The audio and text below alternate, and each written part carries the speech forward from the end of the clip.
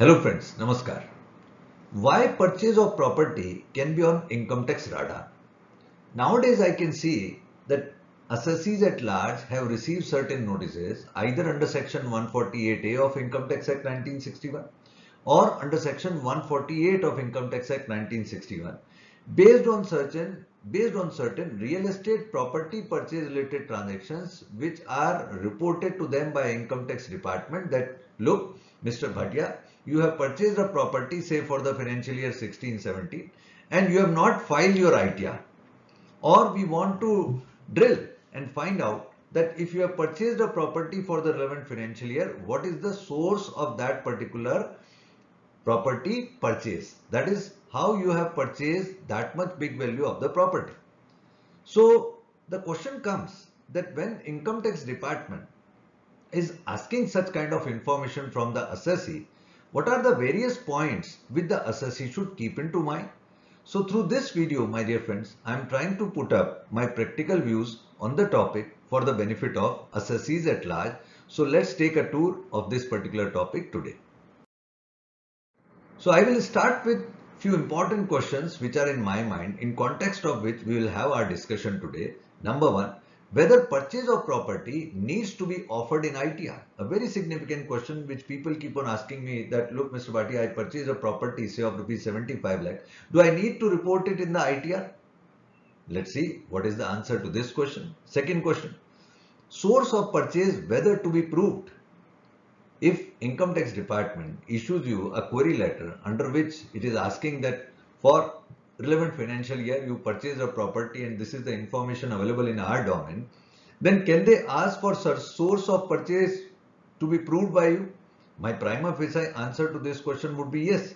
But how on what basis they are asking it? We'll discuss it further. Source of purchase how to be proved? Now the third important question would be to see that once the onus is on you as an assessee to prove the source of purchase of property, how do you prove that particular source? And the relevant TDS compliance which is to happen in relation to real estate purchase being made by you, what is that? That I would also be discussing through this particular video. So let's begin with the first question my dear friends whether purchase of property needs to be offered in ITR. See, if I talk about a normal assessee who is filing return in relation to his salary income or other source income like interest, dividend, etc. Usually individual assessees are filing their return under ITR 1, ITR 2 category, except those who are doing business and they may be offering ITR 3, ITR 4. I may talk about both of them. So if I first talk about people who are filing, assessees who are filing ITR 1 or ITR 2, do such return form requires an assessee to report a property which he has purchased during the financial year? My answer to the question is no.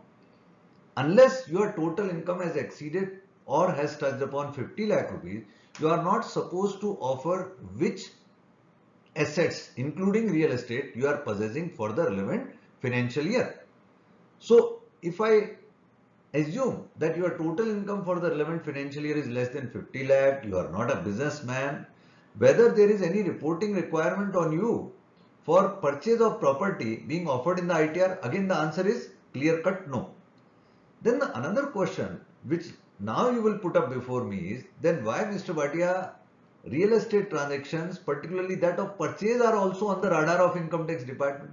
The basic mistake which is done by the assessees here is while they are purchasing the property, they are not filing their ITR. There may be various valid reasons for not filing the ITR. Say for an example, your total income for the relevant financial year was basic exemption limit, but you purchase a property of 75.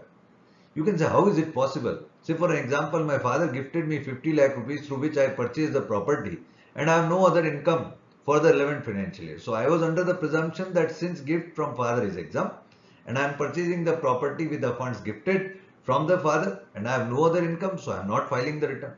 This kind of practice is not wrong. But income tax department connects it in such a manner that they say because of they receiving the information from the stamp duty authorities that okay Anoop Bhatia has registered a property with 50 lakh rupees. And surprisingly in their understanding surprisingly it is the surprise to the income tax department. He has not filed a return. So let's find out how he has arranged 50 lakh rupees when he is not filing the ITR. So I hope you have got my clue that in the year when you are purchasing the property, it would be better to file the return even if it is below basic exemption limit. It will save you from income tax queries probably.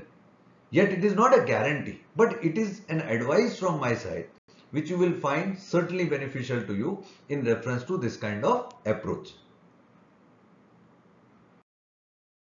Now the next question, that is the second question is, source of purchase whether to be proved.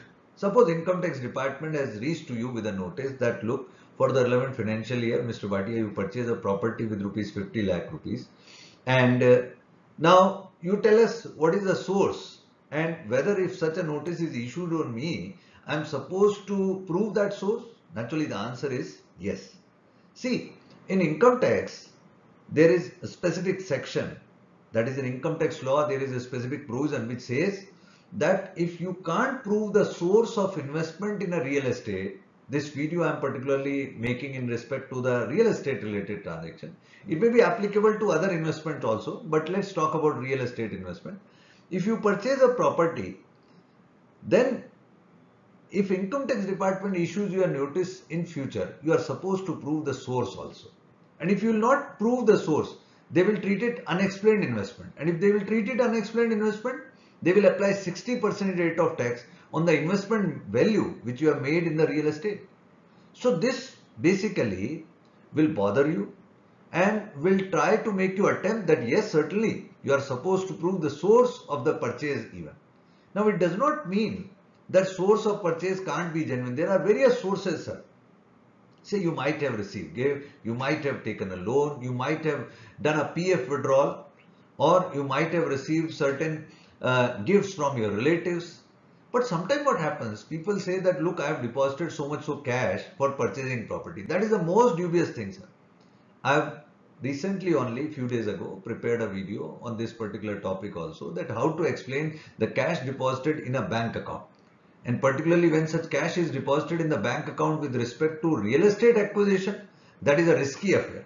Unless you can genuinely prove it, you may be in trouble finally when the income tax department would assess to you. So one has to be cautious about the source of purchase. Yes, department can ask you that what was the source and it is needed to be proved by you. Now another question which will therefore accordingly be coming to you if I am asking you that okay let's prove the source then the question is how that source of purchase to be proved. Naturally say if there is a gift, you have to provide the affidavit or gift deed of the donor who has gifted you that amount. If it is a loan taken by you, the loan document could be proved. Say you are a NRI because I have seen most of the cases NRIs are also receiving such kind of notices. They were under the presumption that I am not supposed to file the ITR but income tax department is issuing notices to them. Then you have to prove the source that yes it is a foreign earned income transferred to NRE, then to NRO. It has to be systematically proved.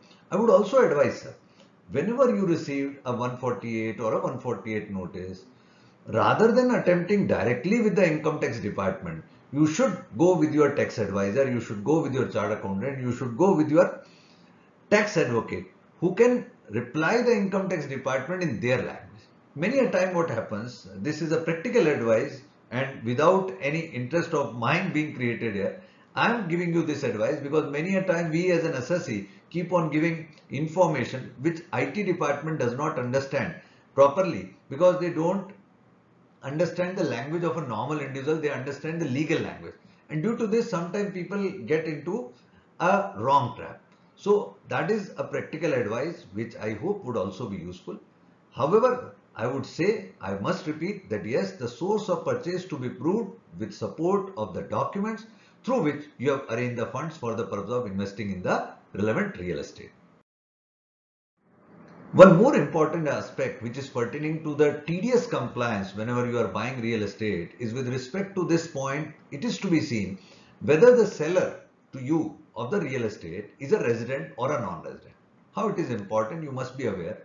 As per section 194 IA of Income Tax Act 1961, if you are buying from a resident a property valuing rupees 50 lakh or above, then in that case, you are supposed to deduct TDS at the rate 1%. However, when you are buying from a non-resident, maybe the value is 5 lakh, 10 lakh, 50 lakh or any amount.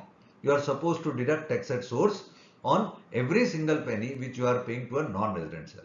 Sometimes what happens that we as a buyer does not comply or do not comply with such TDS related requirement which is a responsibility casted on the shoulders of the purchaser. So if you will skip that, then you may be again on the income tax radar. So through this video, I tried to brief you about that particular point, even that you should be careful on that event also. So at the end, I hope my dear friends that the topic selected by me, you will find it relevant in terms of you being cautious whenever you are buying a real estate, please maintain proper documentation regarding the source. Please maintain the bank statement through which you have made the payment. Please avoid depositing cash at the time of purchasing the property unless you have 100% defined source for such particular cash which you can ultimately prove. So I hope these advice which I have given to you through this particular video would certainly be helpful to you. In case you have any query, you can write to me. Thank you very much for being with me. Wishing you all the best. Jai.